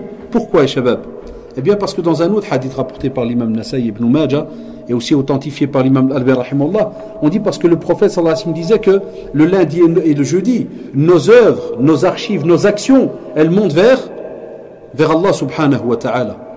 Et il veut, sallallahu alayhi wa sallam, il nous montre l'exemple, il veut que ce jour-là, il soit encore dans l'adoration. Et une des meilleures adorations que tu vas faire alors toute la journée, c'est siyam. Donc c'est comme s'il nous fait comprendre, sallallahu alayhi wa sallam, que pendant que mes actions y montent vers Allah subhanahu wa ta'ala, je suis encore en train de l'adorer. Et de quelle manière En jeûnant. C'est encore plus compliqué que juste prier et manger. Quelqu'un qui jeûne pas pendant l'année, en dehors de Ramadan, qui mange, il boit ceci, cela, et juste le jour même, quelqu'un qui jeûne, est-ce que c'est la même chose? On sait très bien qu'il y a un bénéfice en plus, il y a les jeunes. Il y a un petit bénéfice en plus. Rajouter virgule, tes œuvres, elles montent vers Allah subhanahu wa ta'ala. Vous savez quelle fierté c'est? Et ça montre aussi à quel point tu es un bon musulman. Alash, parce que ton cœur, il réfléchit, il va encore plus loin. Ton âme réfléchit, il va encore plus loin. C'est de se dire, pas que j'ai tout simplement fait des bonnes actions mais je voudrais que pendant que mes œuvres vont monter vers Allah subhanahu wa ta'ala, qu'Allah subhanahu wa ta'ala voit que je suis encore dans un acte d'adoration qui est très noble et aimé par Allah subhanahu wa ta'ala. As-siyam. C'est très très beau. Testez et vous allez goûter au fruit de l'adoration, spécialement quand on est à jeun. Mais il faut tester. Ah, mais si on ne teste pas, on ne pourra pas. Aussi, on a trois jours de chaque mois et là, on revient justement à ce qu'on a dit, les mois lunaires. Je disais des fois à certains, à certains jeunes, j'écrivais au tableau les jours, et puis je mettais en phonétique al-Bayd. Ayam al-Bayd. Combien de fois j'ai pas eu comme réponse de certains jeunes qui me disent al-Bayd, les jours des œufs. Dit les œufs je je donne un cours de, l'agronomie ou là, je donne sur les poules. Je rigole avec une Parce que quand tu fais comme ça, souvent tu oublies jamais ta vie après en général.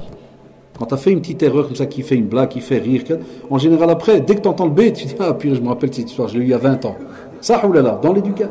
Il faut l'employer dans la da'wa, dans, le ta'lim, quand on apprend aux enfants. Il ne faut pas se fâcher directement sur eux quand ils, apportent une réponse qui n'est pas juste. Là, rigole avec eux. Kada en général, c'est si tu le prends à la rigolade, voilà, ce jour-là, ils l'oublieront jamais. Ah, je me rappelle un jour avec mon père, kada, kada, ou avec ma mère, ou ceci ou cela, ou avec mon professeur. Je leur dis, ah oui, les œufs. Donc je dis à Mek Haddash, il vient à l'école pour donner cours sur la poule et les œufs. Puis il me dit, non. J'ai alors. Et alors, ça peut partir un quart d'heure. Des discussions de fous. Et ils sont là. Pourquoi on va parler des œufs? Je dis, dites-moi, c'est vous. Yallah, dites. Alors que c'est les jours blancs. C'est des jours, subhanallah, où le prophète, sallallahu alayhi wa sallam, écoutez-moi bien, et ça c'est Abu Huraira, anhu, dans un hadith rapporté par l'imam Bukhari Muslim, il dit, mon ami intime, donc Khalili, Al-Khalil c'est l'ami intime, c'est très très beau comme mot. Il dit, mon ami intime m'a fait trois recommandations, écoutez bien.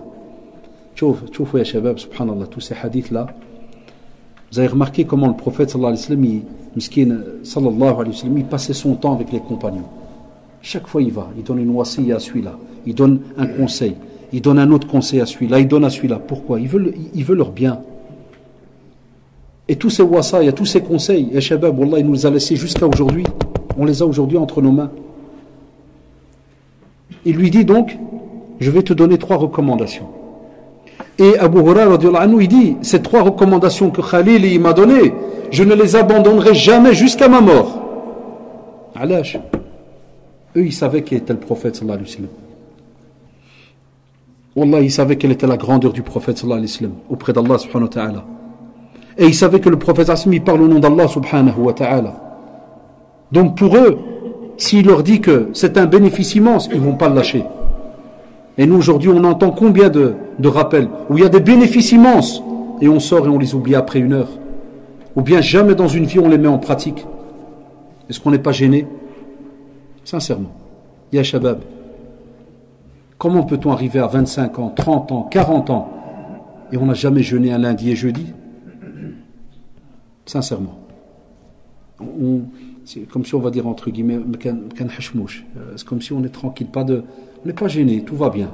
C'est-à-dire on devait savoir s'asseoir, se poser la question, se dire, le prophète sallallahu alayhi il a aussi, il a, il a s'il vous plaît, jeûnez, c'est comme si on va dire aujourd'hui, s'il te plaît, jeûne lundi et jeudi.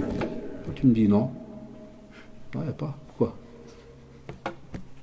Tranquille.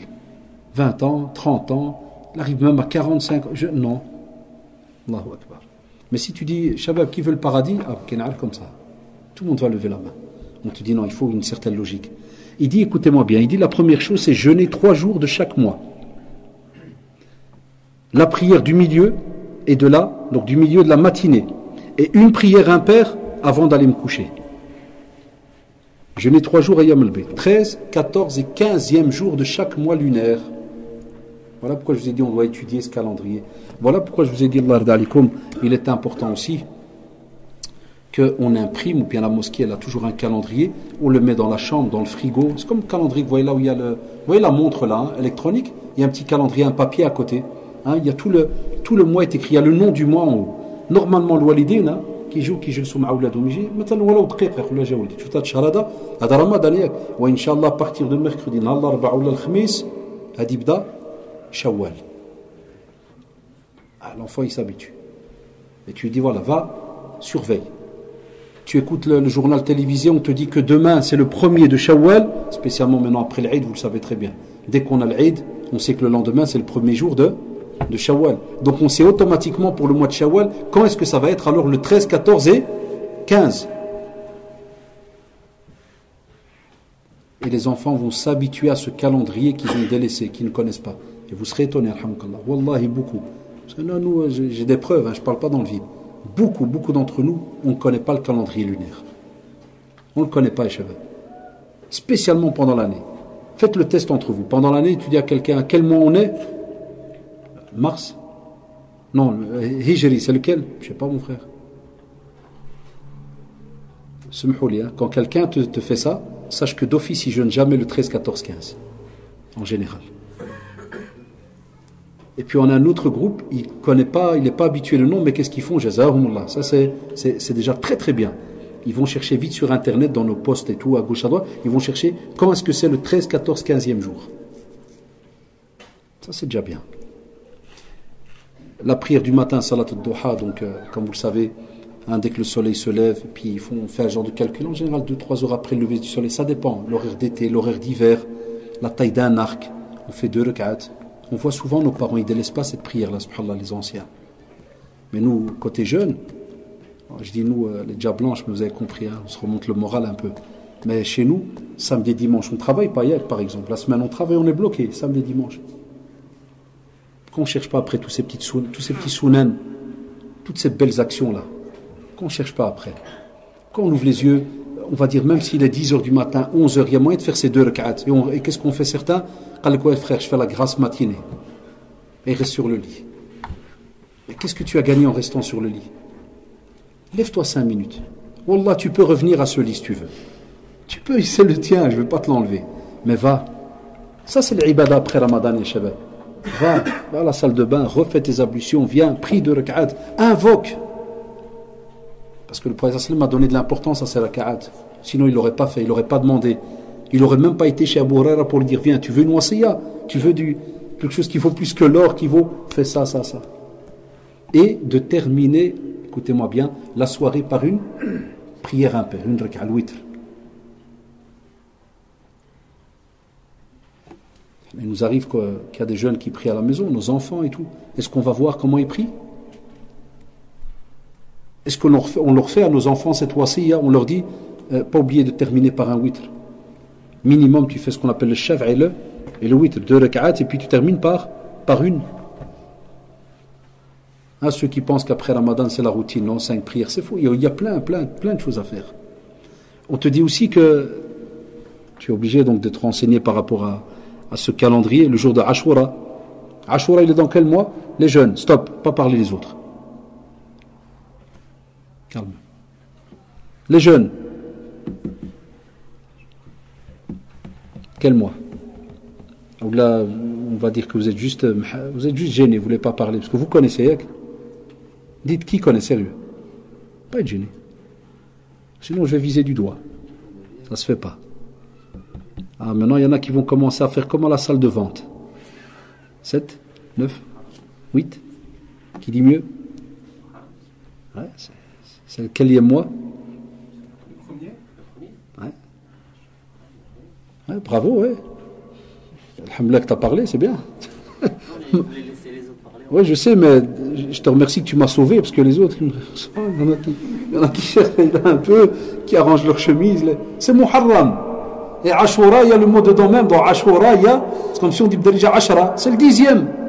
Dixième jour du mois de Muharram. Ouh là là, certains doivent se dire, oh, de quoi il parle celui-là? C'est Ashura. À ceux qui croient qu'on ne jeûne que Ramadan, même quand des non-musulmans ils nous demandent. Ah, donc, euh, regardez, écoutez bien, des fois, des collègues non-musulmans, ils me demandent ça à l'école. Hein. Ils me font, ah, donc une fois par an, vous jeûnez? Je dis non Toutes les semaines, on a. Allez? Je dis, ouais, le pilier de l'islam, c'est une fois par an. Mais sinon, c'est toutes les semaines. Lundi, jeudi, 13, 14, 15e jour de chaque mois. Et des fois, dans certains mois, on a encore plus. Si vous fermez les yeux 10 secondes, c'est comme si tu as devant toi, des Muharram. Dans Muharram, on dit tu jeûnes le dixième. Et des fois, tu peux gagner, écoutez-moi bien, on a dit pour les trois jours de Shawwal. C'est juste? Donc tu as Ashura plus trois jours de Shawwal. On est déjà combien? 4. Plus lundi et jeudi chaque semaine. Ça donne combien? Minimum, on en a 8 alors. Ça fait déjà? Et encore, J'allais terminer après pour expliquer le, la sunna de, puisque le prophète m'a dit s'il était encore là l'année d'après, qu'est-ce qu'il ferait? Il rajouterait même le, le neuvième. Il peut rajouter un jour avant Ashura ou bien un jour après. Donc on a dit quatre, plus les huit jours, c'est-à-dire lundi, jeudi, lundi, jeudi. Dans un mois, on en a, on a quatre semaines en général. Huit et quatre, ça fait, ça fait douze. Et rajoute les trois jours. Ayam al ça fait quinze. Donc on a des mois où tu jeûnes la moitié d'un mois. Allahu Akbar. Simple question. Quelqu'un qui jeûne la moitié d'un mois, est-ce que ça peut être un voleur?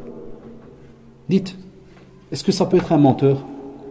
Est-ce que ça peut être quelqu'un qui, qui, fait du mal à ses parents Qui fait du mal au voisinage Qui fait du mal dans son travail Qui montre une mauvaise image? Est-ce que c'est, dites-moi Allah, est-ce que c'est possible? Là. Abadan. Wallahi abadan mais parce qu'on a délaissé le jeûne pendant l'année. Il y a les jeunes, c'est pas un jeu de mots, hein. parce qu'on a délaissé le jeûne, que notre comportement il se fait avoir par Satan, Allah.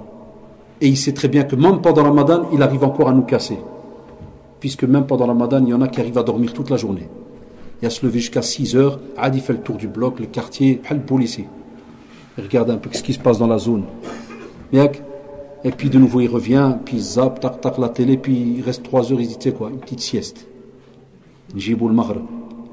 Là, il fait rapprocher le maghreb. C'est juste.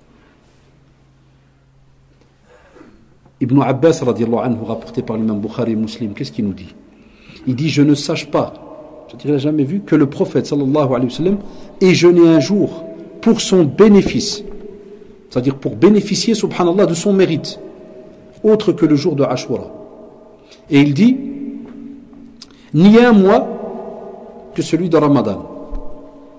Comme pour dire qu'il accordait beaucoup d'importance pour Ashura et comme il, a, il accordait aussi beaucoup d'importance pour, Ramadan. Un niveau très très élevé. Et c'est pour cela, Allah normalement, il y a les jeunes qui ont les smartphones, des agendas. Même si tu vas me dire, on ne connaît pas encore l'arrivée de chaque nouveau mois, Kada et tout. Quand tu prends les calendriers qui sont suspendus, là, que vos parents ils ont à la maison, Wallahi, il y a des décalages d'un jour, en général. Puisqu'ils ils font les calculs. Ils font des calculs astronomiques pour vous donner déjà plus ou moins quand est-ce que les mois vont commencer. C'est juste ou pas? Donc quand tu vas là, tu tournes les pages, tu vas arriver à Muharram, premier mois de l'année. Il est juste après Dhul Hijjah, après le pèlerinage. Tu prends Muharram, tu vois dans le calendrier que le 10, ça donne en, mois par rapport au mois grégorien, ça va par exemple donner, on va dire, plus ou moins vers le mois d'octobre, on va dire. Eh bien, tu prends ton agenda, tu vas à octobre et tu mets le 10 octobre, d'après le calcul, tu mets par exemple 10 octobre, alarme. Et tu mets exprès un ou deux jours avant la date qui y a là. Pourquoi? Au cas où il y a un décalage, tu vas bien être prévenu bien à l'avant. Ça, c'est un musulman qui fonctionne comme il se doit. Il met des alarmes. Et deux, trois jours avant la date, lui il sait déjà qu'Alhamdulillah, dans les sites internet musulmans, dans la famille, l'imam, mosquée, kada, on sait qu'on est déjà rentré dans le nouveau mois. Et il sait que dans deux jours, mashallah, il va jeûner le jour de Ashura. Voilà comment on éduque même nos enfants. Et voilà comment vous les jeunes, vous devrez éduquer vos enfants plus tard. Non, nous on leur achète que des smartphones. Pourquoi? Parce que, un, c'est la mode, et d'autres parce qu'ils ont peur pour l'école. Il faut qu'ils sachent les enfants où ils sont. C'est juste? Non, il n'y a pas que ça. Ça, c'est avec eux. Vous voulez un investissement pour l'année? Dit, Prends ton, ton agenda. Prends les calendriers. Vous savez, c'est quoi ce mois? Muharram, très très important. Ashura, Kada, Alash. Ah, autant de. Le professeur expliqué. Et on remonte des fois jusqu'à Moussa alayhi salam, Pharaon qui a sauvé. Donc euh, imagine Pharaon qui vient, qui veut tuer tout un peuple. Car Allah subhanahu wa ta'ala fait en sorte que Moussa alayhi salam avec les Bani Israël, on a toutes des histoires qui sont derrière cela. Ça vous donne toute l'occasion de vous asseoir, toute une occasion de vous asseoir et d'expliquer pendant une heure tout un cours avec vos enfants. Tu trouves un jour de jeûne, tu en fais une, une muhadara avec tes enfants à la maison. Et toi le frère, les jeunes là, un jour de jeûne, tu es avec derrière l'école, dans le quartier, où travaillent les autres, les plus grands, tu peux faire un rappel. C'est juste On te dit aussi, le jour de Arafat. Donc vous maintenant, vous deux, là, vous parlez pas, tu as déjà répondu. Arafat, il est quand en fait? Dans quel mois? Levez la main ceux qui ont une réponse. Yallah, vite s'il vous plaît. Très on n'a pas le temps. Vite. J'ai dit levez la main. Si j'étais à l'école, moins deux. Moins deux à frère. Direct, retenu mercredi au parc. Levez la, levez la main. T'as levé la main aussi? Très bien, deux qui ont levé la main. Zid, par les jeunes, hein Ils ont déjà des barques, mais c'est rien, ça reste des jeunes. Et les petits jeunes, moi, les petits jeunes. Allez, maintenant on a deux vieux. Comme ça, je vous casse un peu. On a deux vieux. Je veux des petits jeunes qui se cachent les poteaux. Les petits jeunes, Zid. Et je veux pas que des parents ils donnent des réponses. Je vois, il y a des pères qui font semblant de faire subhanallah, subhanallah. Je veux pas le viser. On a, on, personne l'a visé. Yallah, Zid, les petits jeunes. C'est dans quel mois?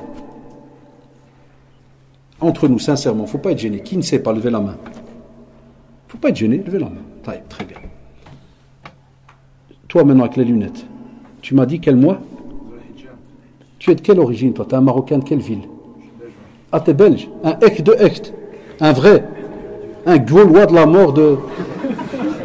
Subhanallah. Donc avant, Maintenant, tu es musulman, alhamdoulilah. Donc, tu n'as pas été un arabe avant ou là? Belge de belge. Et répète, c'est dans quel mois? Hmm. Ça, ça s'appelle une hypercute. Ceux qui font de la boxe, ça s'appelle un, de ces crochets de. Mais là, entre les deux ici. Tu vois l'axe Parce que les sportifs savent de quoi je parle? Ici. Je sais que nos frères reconvertis, ils n'aiment pas ce que je fais maintenant, mais j'ai un beau-fils reconverti, vous le savez, je vous l'ai déjà dit, et ma belle-mère, elle est reconvertie. C'est juste ou pas? Je vous l'ai déjà dit. Et ils me le disent des fois, non, arrête de, faire ça. Non, je leur dis, c'est moi qui prends le risque, c'est pas vous. Mais des fois, je me dis, quand on aime vraiment sa religion, on se renseigne. Il me dit que c'est un belge de belge, un vrai de souche. Pas nous les faux, la nationalité. Ça, c'est un autre domaine. Ça, c'est un vrai. Et, s'il fallait maintenant qu'on, entre nous, hein, considère-moi comme ton grand frère, Allah. Donc ce que je veux dire maintenant, au contraire, c'est, la rigolade entre nous. Imaginez le Belge de Belge, qui avant, il n'y a ni l'arabe, ni l'islam, il n'y a rien. Et le type aujourd'hui, en 2016, il te sort de sa bouche, de sa langue, qu'est-ce qu'il dit? Dhul Hijjah. Pourquoi il y en a qui sourient? Ceux qui sourient, ils savent, ils se disent. La honte à frère. Nous, nous et lui, on est né musulman, il le sait, hein, il est né musulman. Hein. al-fitrati, il est né musulman. C'est les parents pris dans un chemin au fur et à mesure. Après, alhamdulillah, cette fitra, regarde, Allah subhanahu wa ta'ala, il ouvre. Et qu'Allah te préserve, wallahi. Allah subhanahu wa ta'ala, il t'ouvre un chemin, tu reviens. Mais le mot c'est nous. Vous savez pourquoi? On est né à l'al-fitra. Mais on a reçu un bénéfice incroyable. C'est qu'on est né avec des parents qui sont musulmans.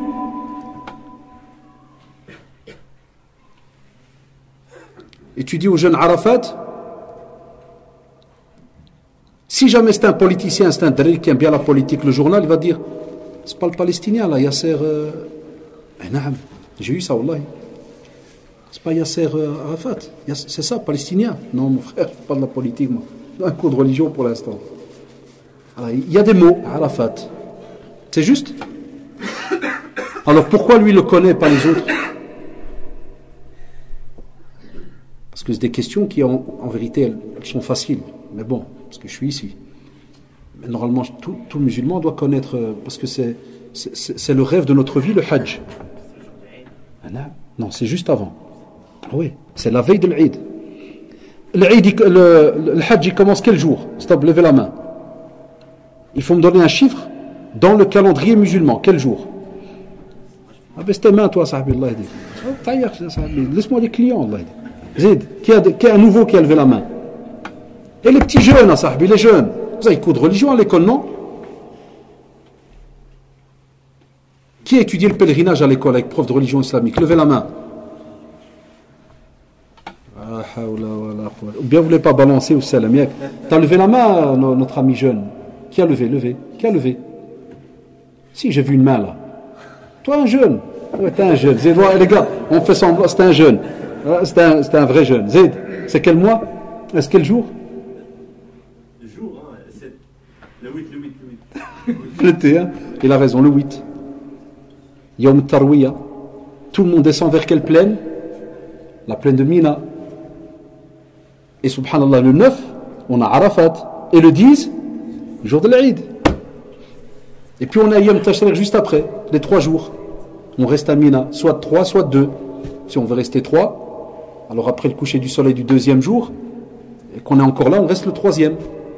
Si on ne veut pas rester le troisième, avant le coucher, donc du deuxième jour, on, donc vous regardez le Hajj combien il dure? Il n'y a pas 36 jours. Donc il y a Shabab le jour de Arafat, ce jour le prophète nous a rappelé que ce jour-là, c'est un jour où Shaitan il, il est dans une situation que vous ne pouvez pas imaginer. Il est dans une honte. Il est rabaissé. Wallah, il, n'a même pas la taille de dhubab, d'un insecte. Et tout ça à cause de quoi? Et il a une colère incroyable aussi. Vous savez pourquoi? Parce que ce jour-là, Allah subhanahu wa ta'ala, il montre aux anges, toute la communauté musulmane, tous ceux qui sont à Arafat, eux là-bas, ils jeûnent pas. Pour ça qu'on appelle le Arafat. Ils sont là debout toute la journée, ils implorent Allah subhanahu wa ta'ala. Nous ici on jeûne pour essayer aussi d'avoir un équilibre. Allah Akbar, quelle belle religion. on ne met pas entre nous de l'égoïsme. On pourrait se dire, ah, ya Allah, eux là-bas ils ont, tu vois, non, on te dit jeûne. Ah, ça veut dire que combien de milliards de musulmans il y a maintenant? C'est quoi les chiffres plus ou moins? Un milliard et demi. Là, on va dire si normalement ils pratiquaient tous comme il faut, un jour dans l'année, le jour de Arafat, 100% d'ibada partout dans le monde. 3-4 millions qui sont là-bas à la Mecque, et tout le reste du milliard, ils sont en train de, gêner, de jeûner dans le monde. Si on était tous adultes, imaginez la scène. C'est très beau, hein mais ça c'est beau dans le blabla.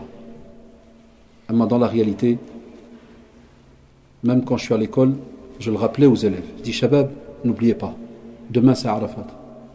Je fais toujours exprès, comme d'habitude. De quoi, monsieur De quoi Arafat. Il faut jeûner un jour. C'est obligé. Toujours la même question. Je dis, rentrer au paradis, c'est obligé. Ah, ouais, ça va, on a compris, monsieur. ça. Ils font le. Donc, ils partent. Le lendemain, j'arrive en classe, c'est Arafat. Dis, Shabab, quand ça tombe qu'à l'école, hein, dis, Shabab, vous avez jeûné le jour Purée, monsieur. Ça, ça se termine comme ça en général. Non, Et puis un petit groupe, il y a les jeunes, il y a les jeunes. C'est votre bénéfice sur terre, wallahi. Vous perdez cela, qu'est-ce que vous allez. On va gagner quoi encore? Et c'est un jour de pardon. C'est un jour de fierté auprès d'Allah subhanahu wa ta'ala. Qui sommes-nous, nous, par rapport à Allah subhanahu wa On n'est rien. Wallahi qu'on n'est rien. On ne représente rien par rapport à, la, à tout ce qu'Allah a créé, à la grandeur d'Allah Mais on est, on est, et on a un niveau près d'Allah puisqu'il a dit Ça veut dire qu'Allah nous a prévu un niveau près de lui. Mais ceux qui ont la piété très élevée. Donc même si on ne représente rien, notre taille ne vaut rien par rapport à tout ce qu'Allah a créé, là, on a une place, on a un degré. auprès d'Allah subhanahu wa ta'ala. Et ce jour-là, Allah subhanahu wa ta'ala interpelle les anges et il monte sa communauté. Il monte ses serviteurs, il dit regardez mes serviteurs. Ils viennent, ils sont nus, ils ont juste euh, ils ont, ils ont un pan sur eux là, vous avez deux tissus, deux essuies. Comme un genre de linceul. Si jamais ils meurent, Allah, comme dit le frère, ils sont enterrés avec. Ça qui est beau au pèlerinage. Tu meurs avec l'ihram, tu es enterré avec. Aucun habit en dessous. Pas de caleçon, rien du tout. Il n'y a que les femmes qui ont, alhamdoulilah, leur habit normal et autres. Enfin, imaginez. Et nous, on délaisse de nouveau ce jour. Aussi, Allah ce jour de Arafat, comme l'a dit le prophète il dit Je compte sur Allah subhanahu wa pour que le jeûne du jour de Arafat soit le moyen d'expier les péchés de l'année antérieure. Un jour. Et de nouveau, Allah subhanahu wa pardonne tes péchés. Aussi, le, mois de Muharram, j'y reviens. Pourquoi? Parce que le prophète sallallahu alayhi wa dans un hadith rapporté par l'imam muslim, il dit que le meilleur jeûne après celui du mois de Ramadan est le jeûne qui est effectué dans Muharram. Vous voyez le mois de Muharram? Eh bien, on te dit qu'après le mois de Ramadan, un des mois qui est très très important pour le jeûne, c'est le mois de Muharram, après Ramadan. On te dit aussi le mois de Sha'ban, hadith rapporté par l'imam Bukhari et Muslim de nouveau, regardez, que du authentique. Le mois de Sha'ban, on te dit que le prophète, sallallahu alayhi wa sallam, ce hadith vient de Aisha, anha, notre mère à tous. Il te dit que le prophète, sallallahu alayhi wa sallam, il jeûnait au point que nous nous disions qu'il n'allait plus rompre son jeûne. Et puis il mettait fin de manière qu'on se disait qu'il n'allait pas reprendre. Ça, c'est pour nous montrer que on ne jeûne pas non-stop. 300 jours d'affilée ou la ça ne t'est pas demandé. Et puis il dit, je l'ai vu jeûner un mois entier en dehors du ramadan. Je ne l'ai pas vu jeûner fréquemment au cours d'un mois comme il le faisait pendant Sha'ban. Il le jeûnait presque entièrement. Sallallahu alayhi wa sallam. Bi abi. Donc, on cherche après de nouveau dans le calendrier. C'est quoi Où est-ce qu'il est le mois de Sha'ban? On interpelle nos enfants les jeunes, ceux qui sont les habitués de la mosquée, vous rencontrez des drôles, parlez-leur. Ça va les étonner, mais ils vont s'habituer à vous entendre. Parce que je dis toujours à nos jeunes qui m'écoutent là, tout rappel que tu fais maintenant à certains jeunes qui ont 17 ans dans le quartier, à 25 ans, Allah, il va se rappeler toi un jour. Et il se peut qu'il va venir chez toi. Mohamed, viens, excuse-moi. Toi, tu seras déjà d'un certain âge. Tu auras peut-être son âge. Va dire, tu te rappelles, tu me parlais de, de jeûne, de kada, tu me parlais des fois de halal, de haram et tout. Tu peux me rappeler ce que c'est? C'est quel bénéfice tu as auprès d'Allah subhanahu wa ta'ala? Le prophète l'a dit? Un homme, si tu arrives à, guider un homme ou une femme, une personne, c'est meilleur pour toi que cette marque de chameau rougeâtre. C'est immense auprès d'Allah subhanahu wa ta'ala. Voilà un des rôles de ces conférences qu'on fait ici. Vous devez sortir, vous devez en parler. Et pour terminer, faites en sorte que ce mois soit un mois qui soit une école pour vous apprendre le pardon. Vous avez tous aimé qu'Allah vous pardonne durant ce mois. C'est juste ou pas? Apprenez à pardonner aux gens. Apprenez à pardonner aux gens. L'Aïd approche. Et je peux vous dire, j'en suis sûr qu'il y a peut-être des personnes ou des gens que vous connaissez qui ne vont pas aller voir certains membres de leur famille parce qu'ils sont en dispute. là Quel ramadan tu as fait alors? Parce que l'Aïd vient après ramadan. Et le titre de la conférence est L'après-Ramadan. Quelle adoration après Ramadan Eh bien, Silat rahim les liens de famille, ça continue. Même si tu vas me dire, ouais, mais moi, j'ai tellement de la famille, il parle trop, il fait le malin, il fait kada. a mon frère, a ma soeur, tu vas, salam alaikum, tout va bien, bekhir, kada, derra, tu barak tu invoques et tout, salam alaikum, t'as fait le pas. Si tu estimes que si tu rentres, ça va aller loin, on va dire. Tu vas me dire mon oncle c'est un dangereux, c'est un fou, c'est un hmaq, c'est un kada. Envoie un SMS, appelle. J'invente des situations. Non, nous on va voir des personnes, ils vont pas se rendre visite. Alors que c'est l'Eid. C'est pas un bon cœur. Salah. Sauf les cas extrêmes, comme j'ai déjà dit, des catastrophes graves, je ne veux pas citer des mots, s'il y a eu des histoires de mais comprenez les jeunes, des trucs, euh, ça c'est autre chose. Amma pour le tafahad, Allah umur vraiment des défauts, vous trouvez dans des familles des, petits dossiers comme ça, de qila ou qal. Je vous parle même pas de ceux qui ont des problèmes d'héritage, de ceci, de cela. Même ceux qui ont des problèmes d'héritage. Des fois, je leur dis, je sais que c'est pas facile à accepter ce que je dis là. Mais moi, je l'ai vécu dans ma famille. Et je leur dis même ça dans ma famille. Je leur dis, agis. quelqu'un vous a pris une terre, demain après-demain on va mourir, c'est juste ou pas Qu'est-ce que tu préfères? Que le jour du jugement dernier, tu viens et tu trouves pas qu'une terre au paradis, mais peut-être des centaines, tu trouves des hasanats parce que ta patiente est invoqué Allah subhanahu wa ta'ala, ou bien que tu vas continuer sur terre à dabez, dabez, dabez, dabez, et tu gagnes rien. Que les nerfs et shaitan Allah qui te gonfle et tu oublies même l'ibada dialek. Ton adoration, tu l'oublies. Donc Ramadan, c'est une occasion pour changer nos cœurs. Qu'on le voit après aussi le mois de Ramadan. La droiture, je vous en avais parlé de l'art Essayez après le mois de Ramadan de chercher après toutes les actions qui peuvent faire en sorte que vous restez droit. Ceux qui vous entendent, il y a les jeunes qui m'écoutaient là. Faites attention à la fréquentation. Voyez qui vous fréquentez. Voyez qui vous donne des conseils. De quelle manière. De qui vous prenez votre religion. Tous ces points-là vont vous aider dans votre droiture au fur et à mesure. Aussi la lecture du Coran. Vous avez été les adeptes et les amis du Coran pendant le mois de Ramadan. Qu'est-ce qu'on a dit tout à l'heure Après le mois de Ramadan, j'ai toujours dit, et vous m'avez entendu le dire depuis des années, prends un petit programme, deux, trois pages de Coran chaque soir. Je t'ai pas dit 20 pages deux, trois pages. Tu vas me dire, Ammo, je suis capable d'une page. Une page, l'art d'Alexid. Wallah, je vais aller plus loin. Ammo, je sais lire qu'une phrase. Une phrase, je te prends au mot. Allahumma, une phrase tous les jours que aucun contact avec le Coran. C'est juste ou pas? Mets-le sur ta table de chevet. Tu peux le lire de ton smartphone là. Au lieu de mettre des écouteurs et tu dors sur genou. Mets ton smartphone, mets un peu de Coran, lis pendant que le, cheikh dit, toi tu regardes les, versets passés. Il y a plein de programmes des fois gratuits sur Internet. e-Coran, Z, Android, il y en a plein. Ça On va voir comment tu vas programmer euh, cette, nouvelle entre guillemets petite année qui va commencer pour toi. Euh, et aussi, comme on l'a dit tout à l'heure, l'aumône continue à être rattaché à la sadaqa. Et les jeunes, je vous ai dit, même si c'est un euro, même si c'est, vous allez travailler, vous allez recevoir maintenant un job étudiant, vous allez faire job étudiant, vous allez recevoir peut-être le premier salaire de votre vie. On va voir les bons investisseurs. L'islam t'interdit pas de t'amuser un petit peu, de t'acheter des habits, d'employer cet argent pour aller après au pays, alhamdulillah, ceci et cela. Mais sadaqa. Et spécialement vous les jeunes de Farsienne, vous avez ce projet, pourquoi je viens expressément ici? Et pourquoi j'accepte de venir ici alors combien de, demandes on a? Il y a d'autres mosquées à Bruxelles qui demandent. Je suis fatigué, Allah en est témoin. Ça serait facile pour moi de, faire un dars à Molenbeek, à deux minutes de la maison. Mais pourquoi je dois sortir à 5 heures pour arriver vers 6 heures ici, vous parler, terminer maintenant vers les 8 heures, reprendre la route, arriver vers 9 heures moins 10, 4 heures d'affilée. Pourquoi? Parce que c'est une belle jama'a, wallah, et je le dis du cœur, Rabbi Shahad. Très belle petite mosquée, regardez. C'est petit mais très très beau. Pourquoi vous n'investissez pas pour votre bénéfice Ici, il y a les jeunes.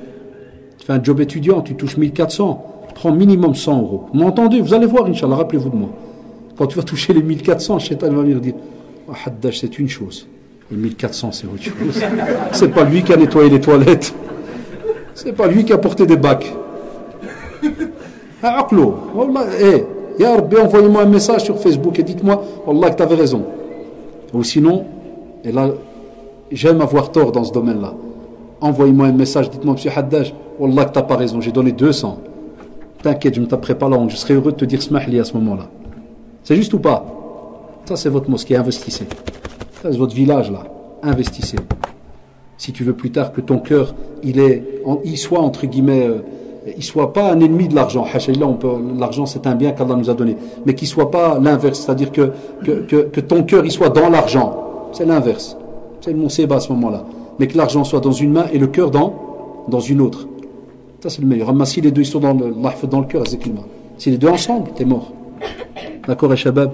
Fallah essayez de mettre en pratique ces quelques conseils qu'on vous, a donnés et vous verrez. C'est comme ça qu'un musulman, mashallah, yartaqi, ça veut dire il change et il monte de degré.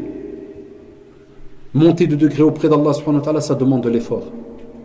Mais ça demande, qu'est-ce qu'on a dit au début? Un effort constant avec, même si on a peu de choses qu'on rajoute, mais, qu'est-ce qu'on a dit? Que ça soit durable. Et comme ça, vous serez capable, alhamdulillah, inshallah, de prendre la relève après nos parents. Soit rahimahumullah, soit hafidahumullah, pour ceux qui sont encore vivants. Mais ils ont besoin de vous. Et pour cela, pour être de ceux qui sont rattachés aux mosquées, ceux qui restent rattachés à leur religion, ceux qui soient capables d'expliquer leur religion à l'extérieur.